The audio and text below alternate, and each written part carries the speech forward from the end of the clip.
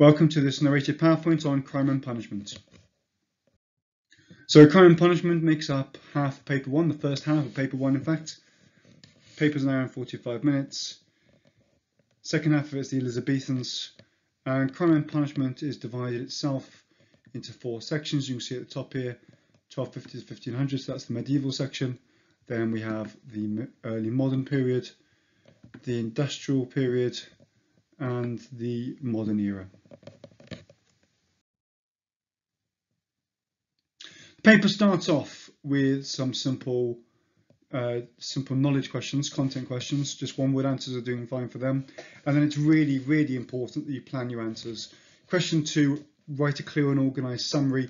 It must be paragraphed, it must be planned first. You need to think about what it is and you need to plan the different concepts you're going to cover. Question three, what caused the increase of crime is the example given here. Uh, again, you need to plan that question, plan your answer, make sure you are considering different factors. And second order content, again, that just means complexity. You're thinking about how it changed over time, prioritizing those different issues or linking those different issues together, or thinking about how it affected different aspects of society. And then we have an essay question here at the bottom. The major points are one here. So again, pick which question you're going to do very carefully. Again, plan your answer and same sort of thing. We're going to look for a very short introduction giving you a direction, a paragraph agreeing or giving one factor, a second paragraph, and then a sophisticated conclusion we're looking for, showing us it's not as simple as yes or no or this or that. Don't forget to help you with this, we have the chronology game, um, which you will have access to, and that, that's not a bad game to be playing and considering the change between the different periods. So first of all, let's have a look at medieval crime and punishment. Now this first section of each of the different areas is important because it gives you the structure for which society sees itself. And very much for medieval period, we're looking at this idea of hierarchy. So we have the king at the top, then the barons and the knights, and then the peasants. And it's very, very much to do with the idea of structure. But what we also need to say, and this is really important for medieval period, is above the king, we also have the concept of God and God's place in society. And we'll see that linked to their crime and their punishment as well.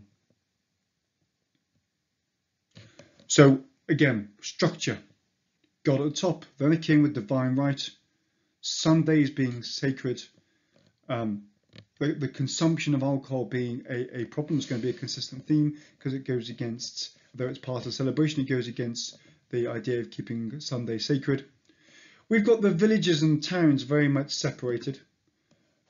We've got people working very close next to each other. Um, and that's necessarily going to cause arguments, particularly when you consider bottom section down here, the different weapons that they've got. And we've got potential for famines and wars to cause issue. And then we've got society being broken down into different problems, different times when that structure is attacked, and that causes us issues.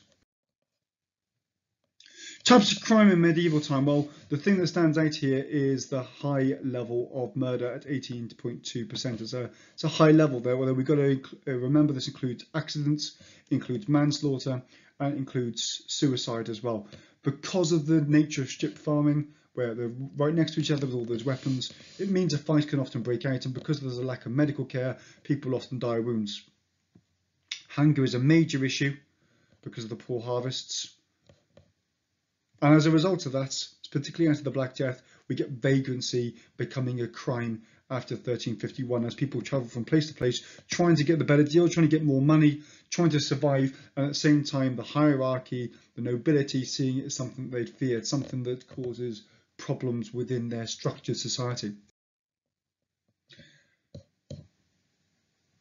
Crime of scolding is increasing an initially issue at this point um, because we've got poverty, outlaw, outlaw gangs become a problem.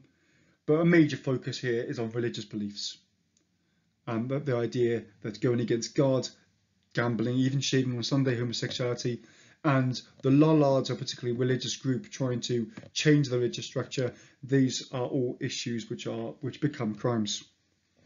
Now, the law was restructured after 1351 um, to, to include treason. So high treason goes against the king, petty treason goes against the man of the house.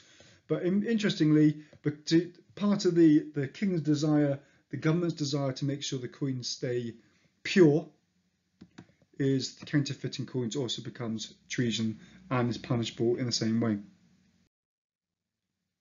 So major change here. 1285, Edward I passed the Statute of Winchester, sets up a voluntary service. So we have sheriffs who often work the nobles working with coroners and chief constables in, in an area. We have a very much a local aspect to this. So an armed posse would be used to track down a, a, a criminal. Locally, we'd have chief constables of the hundred who'd serve for one year, and then more locally, you'd have the parish constables who would look to catch criminals, and ensure all men provide armed service, and particularly they'd enforce the idea that when a crime had been committed, there would be a hue and cry. And that would be an obligation for people to take part in this. So here we have, we have the crime committed, we have the initial response, and then we have the two different systems. So for lesser crimes, we have the manor and the court, um, the borough court or the church court system. Um, later on, we got the JPs, and then we got the for the more serious crimes, we got the quarter session or assizes, um, and we've also got the JP courts after 1361. Interestingly, the juries would come from the accused local areas um, and would be would be chosen because they know the defendant and would be able to give an informed view, which is very different to our local view that you wouldn't get someone who knew the defendant. And here we just have confirmation of those various different types of, of courts. So just as the peace become more important after 1361, uh, local gentry, the well educated, and they replaced the sheriff courts, uh, three to four per county, and after 1388. So we can see this developing as we go through a more developed system. Um, they hold the quarter sessions, which are held every four times, uh, four times per year. Manor courts are more the local crimes, the more non-serious crimes, um, passed to them by tithings or constables, individuals, and they, they start fading into the early modern. That's one change we're going to see between medieval and early modern. Towns have got the similar borough courts and have a town watch, so it's slightly different out to the countryside. Church courts are try moral crimes and put priests on trial, um, often trying people for adultery as well. Um, and I, I mentioned this earlier, juries selected from the accused homes areas often don't take longer than 20 minutes. Um, more than half of all judgments were not guilty, so people tend to find in favour of the accused. Punishments in the medieval period, whether it be fine, particularly for those who could afford them, for the rich people, um, particularly those who were involved in crimes against money in the first place, so traders or thieves or gamblers, and anyone who didn't take part, any villagers didn't, didn't take part in the hue and cry. We also have public humiliation, uh, scolds would have the cock and. Borough courts use stocks and pillories, so they'd embarrass people. They'd show them up in, in front of their society, as we can see happening here. Imprisonment, we, we did have prisons, but they're not generally used apart from debtors and forgers who couldn't afford to pay their fine. And you had to pay your jailer for all your goods, including your food or your bedding and so forth. So you, you'd have to be rich to be to be um, having a, a good time in prison. And of course, the very rich could afford that.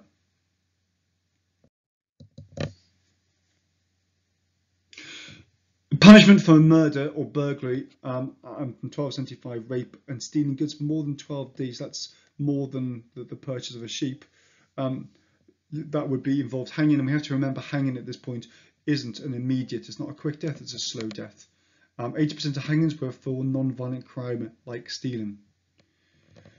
If you committed high treason, you go against the state, and this is this is isn't as surprising as the state that's organised this. You'd be hung, drawn, and quartered so hung onto you and almost dead, and then your insides would be would be uh, exposed, cut into, and and cut out of you, including your private parts potentially being burned in front of you. Then you'd be chopped into four parts, and you'd be displayed as a sign to stop other people. Heresy was a was a very serious crime because it goes against God, um, and could lead to you being burned alive. Same true for petty treason because you're breaking down society. There were ways to avoid punishment. You could join outlaws, although that obviously has a risk as you get caught because that itself is a crime. You could seek sanctuary and then abjure the, the, the state. So if you went to a church and stood stayed there for a certain amount of days, got the bishop or the local priest to support you, you would be allowed to abjure the state. That means you'd have to leave. You'd have to leave the kingdom. Um, basically, medieval people were saying, "We don't want you here. Go and cause a problem in another, another country." You could seek benefit of the clergy, so you could say you were part of the clergy, for which you'd have to recite part of the Bible. If you were really rich, you could buy a pardon, pardon from the king, or you could join the army abroad and serve the king that way. So we're on to the early modern period. And the question here is, how far was this similar to the medieval period? Is it just more of the same? Well, we got a couple of major changes that occurred during this period. The population of England changes uh, significantly, doubling within 100 years. And go, going hand in hand with that is increased prices, falling wages, unemployment. So we can see there is going to be a lot of problems during this period. We also get some um, urbanization during this period. More people move to towns, not as much as the industrial period, but 20% more living in towns than had done so by at the start of this period, 20% more increase by 1750. And we get great wealth and great poverty existing side by side. So Gin Lane projects, this, this image down here of the very poorest of society, desperately trying to survive. Um, one of those ways of surviving is by drinking, which of course causes more issue itself. Roads are built, communications improved. Um, that brings its own crime, as we'll see very shortly. Printing press means there's the further crime of, of, of going against the state, but also people are eager to find out about crime that's going around. By 1750, we've got four daily newspapers.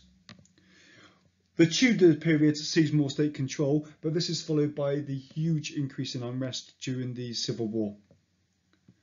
And really important, this one at the bottom, we get a change in terms of the religion, Puritans increasingly gain control and moral crimes are pursued. And that again has an issue uh, as a knock on effect.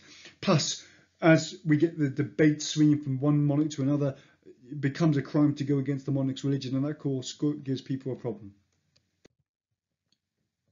So we have less violence between nobles during this period of time and a new focus on new crimes, particularly coming from the mid 16th century um, and then we get a decrease from mid 17th century, and that's all to do with the increase in population, rising prices, and then that stabilizing. You see that with these graphs here. So the, the, the issues, we get a spike, and then we get a relatively calming period.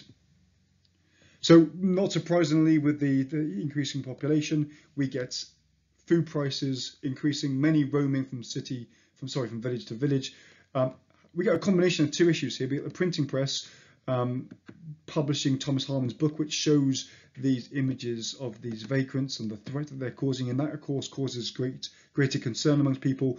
As we get increase with Puritans, we get to these moral crimes increasing, um, godly communities worried about drinking, swearing, gambling, sexual immorality. Major changes, specific crimes, much an increase in, in witchcraft. We don't know specific figures, but it's likely to be hundreds. And then from the 1700s, as we get an increased focus on science, that actually decreases. As the government tries to put import taxes on, we get people smuggling goods in, and we could have up to 50 people involved in that, each with a different job, whether it be getting the ship, whether it be bringing the cargo onto shore, whether it then getting it, hiding it and, and selling it on. And we have examples of people being murdered during this. And as travel increases and people carry their money with them, their valuables with them, we get highway robbery becoming an issue, particularly during the time of Elizabeth I. Traditionally, we've got this image of the gentleman highwayman, but that, that's far from the truth. They're mostly rough thugs, and we've got some horrible uh, crimes committed and examples of, of roughing up and killing.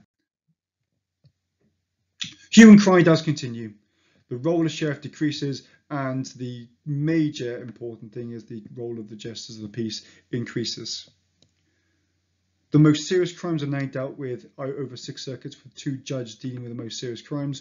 Assizes held at different towns twice a year. The JP Quarter Sessions dealt with petty crimes, but JPs also deal with other local issues like fixing the wages, um, with road mending. Um, and by 1600, small groups of JPs met at petty sessions, and the manorial courts now have lost their, their sway.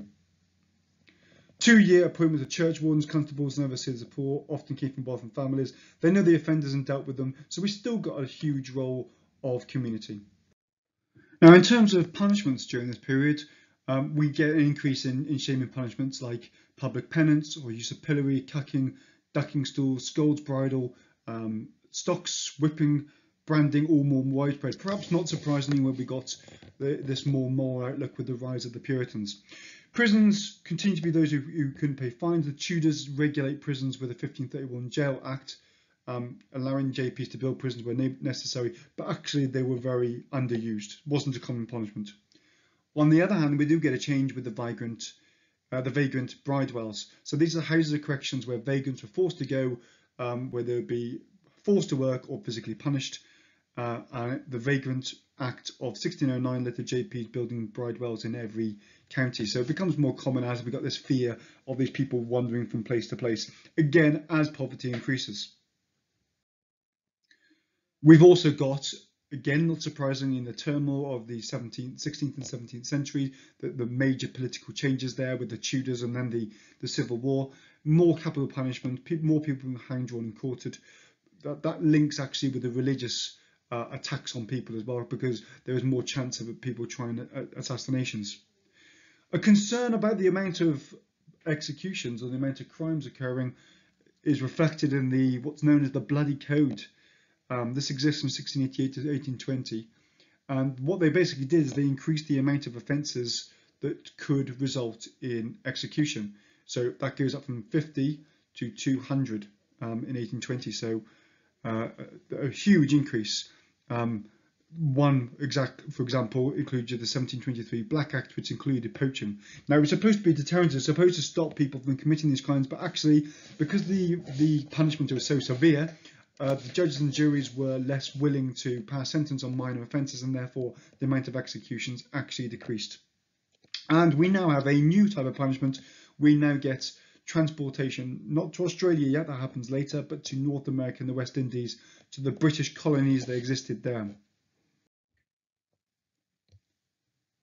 Okay, here we have the industrial period, and this is likely to come up in most exam papers because it has such significance in terms of urbanisation and the changes to the police. Okay, let's have a look, start off by having a look at society. So this period really is dominated by the industrial revolution, revolution and all that bring uh, the mines, the the factories, the the urbanisation, railways being developed. But urbanisation really is the key to this. And we look at these figures here, we've got a significant change here from only 6 million population um, in 1750 and then 21 million 1850 and up to 37 million by 1900. So uh, an increase over that 150 year period by over six times. By 1850, totally new towns of Manchester, Birmingham, Bradford, Leeds had emerged. More people, for the first time ever, are living in urban rather than rural areas. Meanwhile, in these cities, the gap between the rich and the poor widened. Rich move out of the inner cities, poor moved into them in horrible, squalid conditions, often sharing uh, courtyards and toilets, back to back houses. Same time, the British Empire grows uh, to, to include Australia, and that's going to be important in a moment. Democracy becomes important, and we have this key change here in the Enlightenment, uh, which for human beings really have a, there's a move away from religion and more questioning what it actually means to be uh, human. Um, we've got Bentham there talking about the greatest happiness for the greatest number, and we'll see how true that, bears out. Literacy increases during this time period, and that's linked to the 1870 uh, Education Act, which means school is, is compulsory for under, twins, under 10s. Many are addicted to alcohol in the slums, um, leading to a temperance movement. That is to try to persuade people to stop using alcohol. But for many, alcohol is a way out of their misery. So we see a gradual increase in crime uh, to begin with in the 1750s and then a sharp rise in the early 1800s, particularly after 1815, as soldiers return from the Napoleonic Wars. And then we see a fall again with the new police forces. So here we go, as the new police forces start coming in, they start to decrease. Most of the crimes of this period are crimes uh, to do with petty theft and they're opportunistic. Only 10% of the crimes are violent, um, and even then, most people know they're murder victims. 70%, 75% of offenders are men, and they are very much linked to, in, in many ways towards the poverty. The inaccessible city areas, city centres are, are, very difficult. The wages fall between 1815 and 1822 as soldiers return from the Napoleonic, Napoleonic War. They can't find a job. And now, with increased education, more more people are scared by the idea of the criminal, um, the criminal class almost um, believed in these penny dreadful these stories that appear in these these cheap newspapers stories about criminals which terrify the middle classes. Now we have a fight back here in the enforcement a major change in enforcement here. First of all the bow street runners uh, and the magistrates of john fielding in in london. 1754 set up uh, basically a court which becomes similar to a police station However, his plans for this becoming nationwide are rejected. He does also publish a magazine from 1775 onward, which looks to track the numbers and figures of crime, and the government is persuaded to support that with 400 quid put into it each year. However, the major change comes in 1829 with Sir Robert Peel and the Metropolitan Police. Based in London with 3,000 people, two commissioners run it, uh, they're deliberately dressed up to not look like soldiers. They've got the dark blue hats. They've got no weapons. Um, and this does spread throughout the country. However, if we look at the dates of these here, we, get, we have to be aware that these this is a slow change. Change to towns from 1835. Then we got the rural that goes in the counties and the county and police uh, borough police act. But but it's slow, but it's steady, and it's important, and it does make a difference to crime. Now, for the first time probably uh, we we got streets being patrolled and actually crime looking to be prevented rather than just chased up. Um, and it's li likely that the police were responsible for the drop in crime rate after 1850. So they remove prostitutes, they remove vagrants and drunks, they stop illegal drinking and gambling. And then we then have a step up in the pace of detecting crime. The detectives introduced to the Met in 1842 1880s, we've got 800 working in the CID, the Criminal Investigation Department. They use photographs, and from 1897, they use fingerprints. Few changes in the court system, actually. Um, still being tried in assizes and court, quarter sessions, but from now on, we've got lawyers representing both sides. So we've got the basis of our modern court system. Now, hanging, see changes in hanging here. So hanging had been taking place on on hanging days, really famous days where people would gather, flat prison roofs, people would go out to watch them. We got changes now with the 1866 scene, the new drop, and then 1874 the long drop, which changed from being a slow strangulation to an immediate death. However, with the Enlightenment, fewer executions occur uh, from the beginning of the 19th century. So 1871, 1800 to 1809, that drops uh, by almost a third. Um, 1830 to 1839. Uh, it also means that we remove letter stealing, arson and other issues as capital offences. But with that, we get the move towards prisons and prisons become a lot harsher with a little, there's a little period of time where flogging's dropped and then it's brought right back. And 1865 Prisons Act deliberately tries to make food monotonous. We have plank beds replacing hammocks to make it more uncomfortable and the amount of pointless work. So we have people on a treadmill on this picture here and you know, it, it, it's a it's an unpleasant, it's deliberately unpleasant experience prison. We have a new move here towards transportation. Uh, 160,000 convicts are transported, with the peak being in 1830, uh, around 5,000 uh, per year in that period there. Most of the people sent um, on, on these transports had stolen food or low value items. Young age, they're only 26 they would go for seven years or 14 years or, or lifetime. Punishments would see the, them hit um, with lashes, and even when their time period finished, few could afford to return home. By the 1830s, there's a real debate going on. Some people see it as too, too harsh, some people see it as too soft. Um, and some people just say you just shouldn't be sending convicts to the colony. What chances have it got of surviving? Um, so from 1840s, there are fewer being transported and it's ended in 1868. Of course, that puts the pressure back on prisons. We have a move now to reform prisons under Sir John Howard. The Discharge Prison Act uh, discharge fees, so you don't have to pay to get out of prison anymore. And he tries to improve the health uh, of prisons with the Health of Prisoners Act.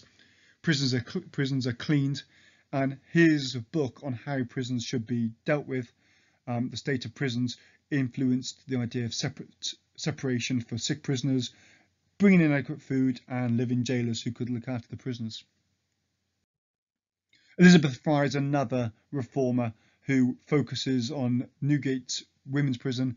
She encouraged them to read the Bible, divides them into 12, and they're overseen. So it's some sort of rehabilitation. However, this doesn't last forever because the 1811, um, after 1811, the Millbank Penitentiary, which had been a reforming prison, is a disaster and is closed down. Um, from 1823, Jail Act the Jail Act looked for JPs to regulate and check on prisons with regular visits by governors and by surgeons, although that's not always carried out. There weren't any official inspectors until 1835. Now, the decline of the transportation leads to a further 50 prisons opening, and by 1877, we have 90 prisons. Um, and the treatment really of prisoners, as we can see in this drawing, is it goes back to being very harsh with separate, so they're separated, and then the silent treatment, so they're not allowed to talk at all and we get increased pointless work such as the crank and the treadmill. And now we reach our final period, the, the modern era. And the question here is, are we actually doing anything right? Are we going in the right direction? Are we doing things in a positive way? Can we see hope for the future? Let's have a look first of all how the population changed during this period. So increasingly we got uh, urbanization. Uh, scary statistic really. By 2011, 80% of people lived in cities or large towns. We've got a change in the amount of money. Um, we've seen this as an issue throughout the years. So there was an economic struggle in the early 1900s and then after World War II. However, but after 1957, uh, Harold Wilson was able to say that people would never had it so good. By 2000, many people owned luxury homes and, and, and, and cars, but but the credit cards and, and debt ha, has taken over. So people are spending, but they don't necessarily have the means to pay that back. By 1880s, most, most working men got the vote, and by 1920, all women had got it. We got to set up the liberal state, and then we got the issue that comes with that, which is many people worrying that the that the existence of the welfare state means that we're spending too much money. And we got a backlash over that as well. Science and technology have totally changed, particularly the way that enforcement is. Uh, we've got whole new crimes uh, linked to drugs and to cars and to music and to pirating on the internet. We've also got an awful lot of people coming to, to our shores, um, often bringing their own set of resent. Uh, 1900 we've got Russian Jews, then we've got Commonwealth migration. Uh, the EU has brought migration, uh, immigration as well, and all these have brought social tensions. The very makeup of though Britain has changed. Uh, increasingly, jobs are being done by machines. That means that people are likely to be uh, either unskilled or unemployed. Women have got more rights. The church has lost control largely. No, no longer has the grip on the population it used to have. So only 10% of people saw themselves as church churchgoer by the year 2000. More divorces, more single parents. Um, but alongside that, changes in the way that we see individual rights. So the 1948 Declaration on Human Rights means that we shouldn't be discriminating on, on any, any of those instances. That has an issue for crimes, but also has an, an issue for punishment as well. 1900 to 1950 crime, 1955 crime rates continued pretty much as they had done before. However, during the Blitz, we get a significant increase in crime, a little blip of crime just there, and crime then has really shot up in the years after that, partly because of our classification of crimes has changed.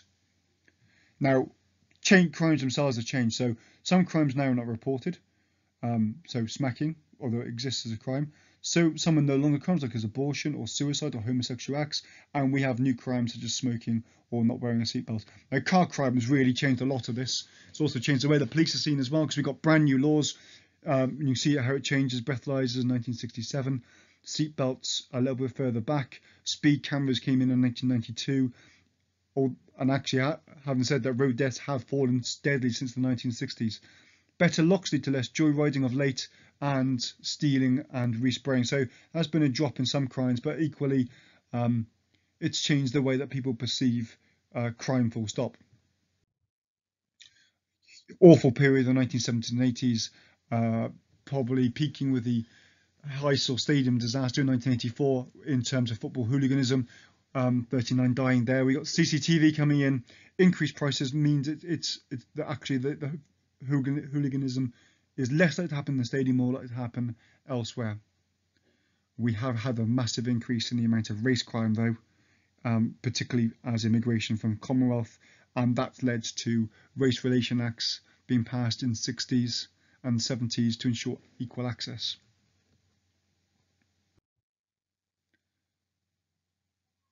Hate and race crime has become much more of an issue. It began really with with the killing of Altab Ali, um, but but the turning point was the 1993 murder of Stephen Lawrence. In 2005, you could be tried for the same evidence if there was the same crime if there was new evidence available as a result of this. And we have the new category of hate crime with severe sentences with new laws coming in 1998 and 2003. There are crimes linked to drugs, um, often linked to music itself, and that increased from the 1960s. We've had a sweeping ban and then a categorization of different drugs from 1971. Huge profits being made by organised gangs from smuggling, and that's linked to prostitution as well. And we have legal highs still a problem today. Internet, of course, has changed the world um, and it's led to a whole new set of of of, of, of cyber crimes, um, pirating issues, phishing scams, hacking into accounts, extortion.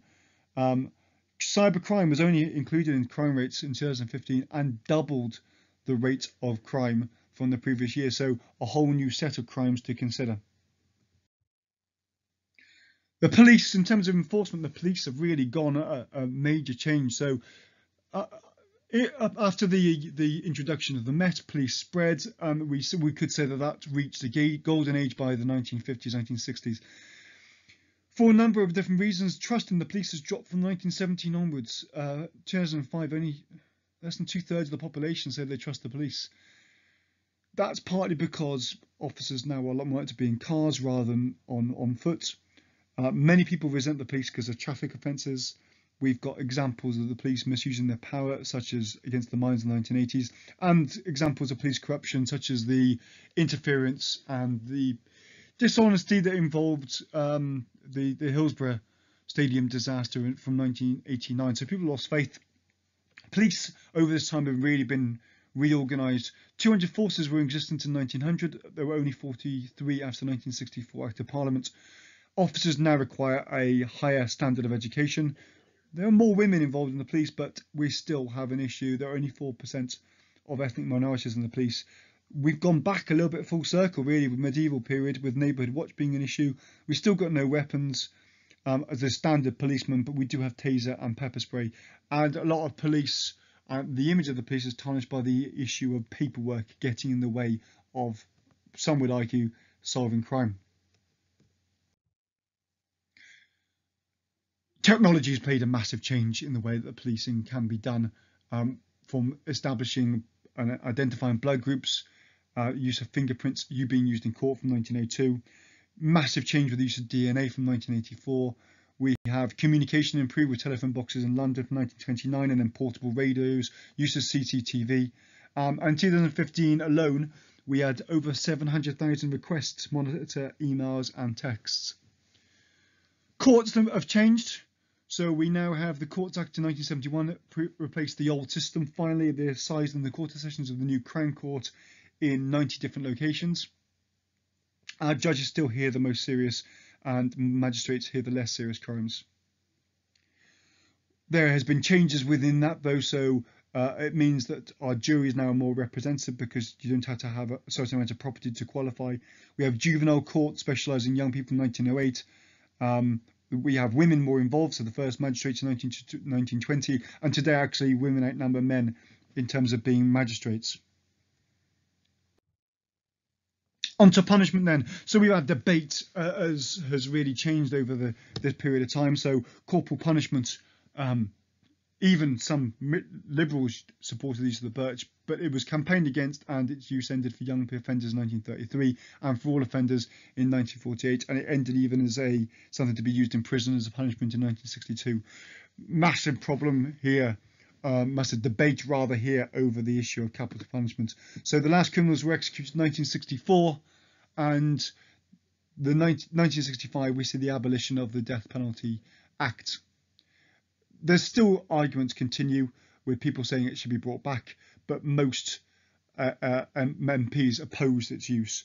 Um, there's been petitions for both sides and debates on both sides. Um, there's more, slightly more people wanting it to main, be kept as abolished. Um, some people they want to call it back, but MPs largely favour the abolishment of the death penalty the continued abolishment. We got a change in the way young people are, are dealt with. So youth prisons um, from 1902, we got borstals and then young offenders institutions. Um, now, these days, 10 to 70 year olds receive support in secure children's home. Um, and the change of age of responsibility from 1908, the age of responsibility was seven years old, and now it's 10 years old. We have a continued debate over the issue of, of rehabilitation. It's it's changed over the time period. So 1900s, 1970s, there was a real move towards rehabilitation, um, but it's been mixed ever since. So 1896, we had separate treatment for mentally ill prisoners. Prisoners treadmills were abolished. We had a major reform in terms of re rehabilitation. Um, silent treatment had ended from 1922, and they ended also the, the shaving of heads. Um, that, that there is there would be normal work and small pay. Uh, uh, and then there was the debate and recognition that not everyone could be rehabilitated, and therefore years could actually be added to your sentences. Major issue though involves the issue of rising prison populations. Um, many people want tougher sentences, but that has consequences. So many people, even awaiting trial, are, are kept in prison. So 1990 Strangeways in Manchester saw riots and more locally, two people died during that. More locally, in 2009, there were riots in Shrewsbury Prison, which had been built for 177 prisons, but in that year had 316 prisoners. We have building of new prisons over the last, well, from 1985 to 2006. Um, since 1992, more and more so prisons have been given to the hands of, of private companies um, to say try and save some money prisons continue to cost an awful lot of money, with the annual cost of prison being put at £27,000 in 2007. Finally, there are now alternatives to prison which has developed over this time period. So in 1907, we had the probation service, which gave support for those who came out of, of prison early, um, monitored them, made sure they were doing the right things. In 1967, we had the parole system for uh, early leaving, in 1990s, we had some prisoners wearing digital tags so they could be monitored that way. And from 1972, the community service order meant that prisoners, rather than go to prison, rather criminals, rather than go to prison, could do unpaid or educational service, something that would benefit the society. In 1990, we also had a focus on looking after the, the victims themselves. So the Victim Support Charter, later called the Victim Support Code, established the treatment for a victim, and that meant that a victim could give a, a support statement in court, either read by themselves or by a representative, to the criminal to express their effect on it. So it was a way of trying to even up the the issue and try to explain the effects on the criminal that that had had. And we'll just finish up now with a final look at the assessment. Paper starts off with some simple uh, simple knowledge questions, content questions, just one word answers are doing fine for them. And then it's really, really important that you plan your answers. Question two, write a clear and organised summary. It must be paragraphed, it must be planned first. You need to think about what it is and you need to plan the different concepts you're going to cover. Question three, what caused the increase of crime is the example given here. Uh, again, you need to plan that question, plan your answer, make sure you are considering different factors and second order content, again, that just means complexity. You're thinking about how it changed over time, prioritizing those different issues or linking those different issues together, or thinking about how it affected different aspects of society. And then we have an essay question here at the bottom. The major points are one here. So again, pick which question you're going to do very carefully. Again, plan your answer and same sort of thing. We're going to look for a very short introduction giving you a direction, a paragraph agreeing or giving one factor, a second paragraph, and then a sophisticated conclusion we're looking for, showing us it's not as simple as yes or no or this or that.